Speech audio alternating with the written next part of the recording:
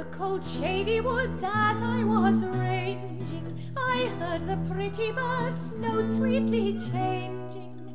Down by the meadow side there runs a river, a little boy I spied with bow and quiver.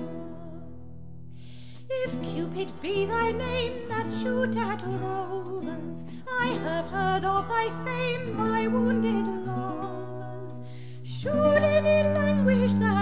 Set on fire by such a naked brat, I much admire.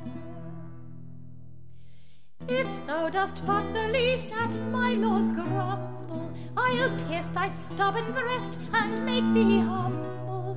If I with golden dart wound thee but surely, there's no physician's art that e'er can cure thee. Dear little Cupid, be courteous and kindly. I know thou canst not see, but shootest blindly. Although thou call'st me blind, surely I'll hit thee. That thou shalt quickly find I'll not forget thee.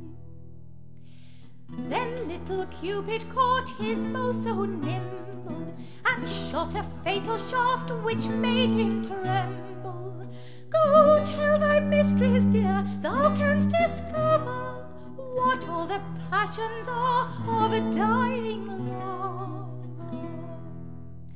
And now this gallant heart sorely lies bleeding. He felt the greatest smart from love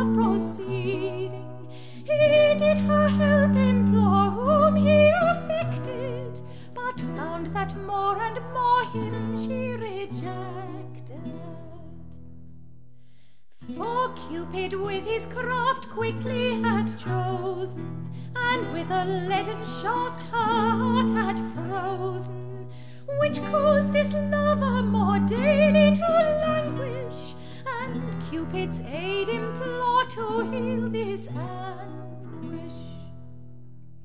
He humble pardon craved for his offence past, and vowed himself a slave and to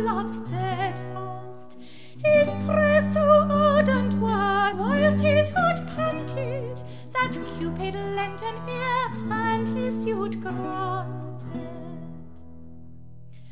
For by his present plaint he was regarded, and his adored saint his love rewarded.